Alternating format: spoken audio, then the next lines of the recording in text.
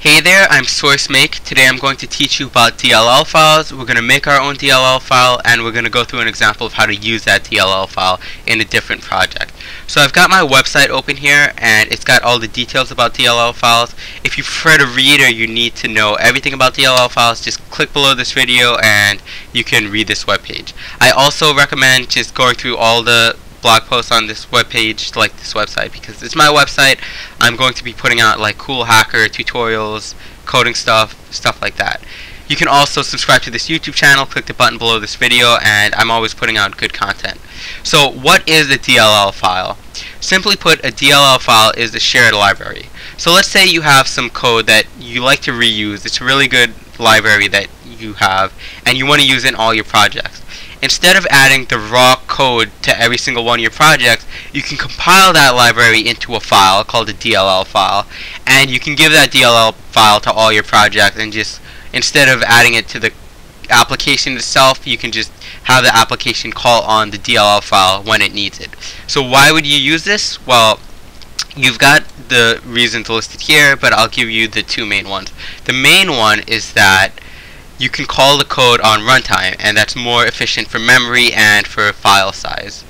The other reason that I like a lot that I read on Stack Overflow is that let's say we've got 10 projects that's all using a shared library. We've got this, let's say a math library that we want to use in 10 projects.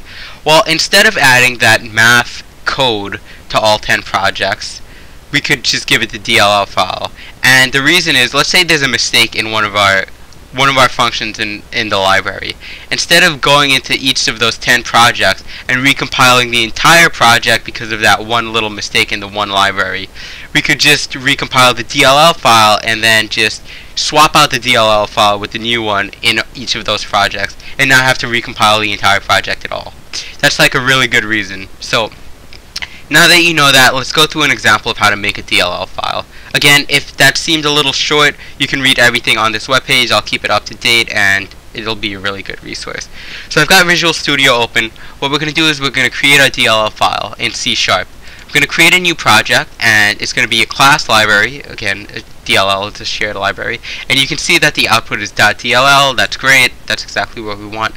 I'm going to output in this in my work folder and let's call this my math library DLL. Pay attention to this name, you'll see how this shows up later. And Visual Studio is going to create the project and we've got a few things that we want to do. The first thing is we're going to change this namespace to say, let's call it my math library. So that's the name of the namespace. You'll see how that's used later. And we're going to, in this namespace, we're going to create one class called calculator. And inside of this calculator, we want to add three functions. Let's let's have an add function, public int add, and we'll say int a, int b, and what do we want to do? We want to return a plus b. Return a plus b.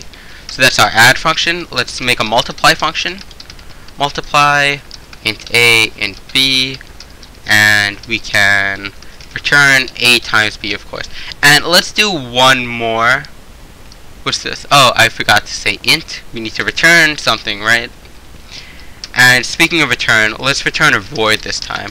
Let's just have a void that says say hi, accepts no parameters, and what it does is it writes to the console hi there from source make. So let's just do a quick recap before we build this. We've got our project called my math library DLL. Inside of that project, we've got this namespace called My Math Library. And inside of this namespace, we've got one class, calculator, which has three functions, add, multiply, and say hi. That's our library for now. It's really simple, but let's just keep it simple. Obviously, you can build up from this if you want to have more complicated stuff. So let's build a solution, and I'm inside work. I've got, what is it? What did we call this? My Math Library? My Math Library DLL and we go to bin, debug, and the output of this build was two files. One of them is our DLL file, which is perfect for us. So we've got our DLL file, and it's for our library, right? Let's close the solution, and let's make a new one. So I'm going to make a new project to use this DLL file.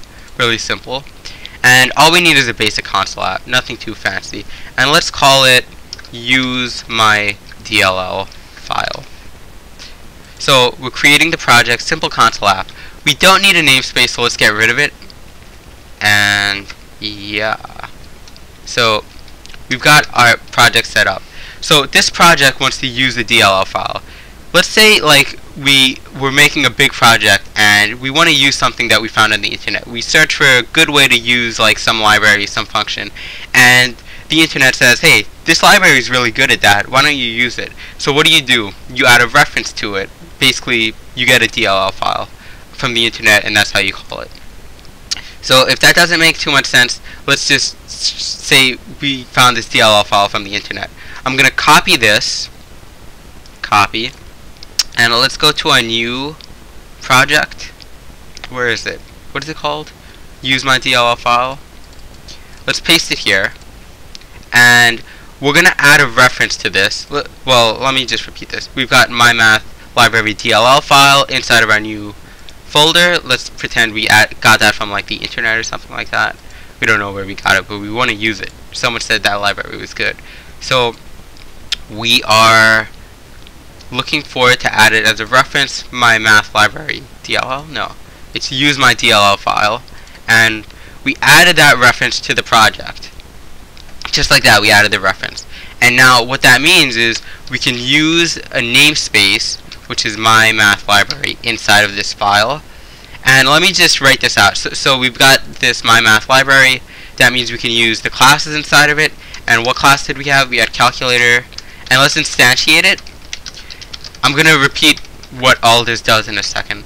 And let's call the add function. So calc.add. Again, I'll explain all of this in a second, but let's write it out. We'll call the multiply function, not add. We want to use mult 5 and 10. That's what we want to multiply. And let's output that. So console.writeLine and we'll do add but it's an integer so we have to cast it to a string and let's do the same thing copy paste except we'll do this for mult and finally let's call calc dot say hi. So what do we got here? We've got a reference to our DLL file now in this project. And inside of this particular file program.cs we're saying let's use the namespace mymath library inside of this file. But what was inside of my math library? Well, we had this calculator class, right? So let's instantiate this calculator class so we can actually use the functions in it. And what do we do? We say calculator, let's call the function add on 5 and 10, store it into a variable called add. Let's call the multiply function for 5 and 10, store it into this variable called mult, and then let's output that to the console, and also let's call the say hi function. So what do we expect? 5 plus 10 is 15, right? 5 times 10 is 50, and this should say hi there from SourceMake. So let's build it. And now I'm going to press Control and F5 to debug, and 15, 50, hi there from SourceMake. Simple. So just like that, we use a DLL file. So let me repeat everything one more time just for a quick summary. DLL files are shared libraries. Instead of giving someone or like having the library in the form of raw code, you just compile it into a DLL file so that you can give the file to anyone. And that's good for a number of reasons. You can read it here again, but basically you can use it at runtime and it's good because if you want to like change something instead of new projects having to recompile the entire code because you gave them the code, you can just give it a new DLL file and it'll know just to use the DLL file. You just have to change the DLL file. So we made the DLL file, you saw that with the C Sharp Visual Studio project. And in our new project to use it, we added a reference to the actual DLL file. You saw that the name, it was the name of the old project. Then the namespace, we use the namespace inside of our file, this particular file that we want to use. And we can use all the classes of that namespace, which we did use. We used the we instantiated the class and we use the functions of that class. So just like that, we learned how to use the DLL file. So that's it. You know everything about DLL files now. If you want to use your own DLL files, I suggest you do. It's really good programming practice. If you like this content, please do check out this website and subscribe to this video so you can learn more and we can do other cool stuff together. So I'm SourceMake. Thanks for watching.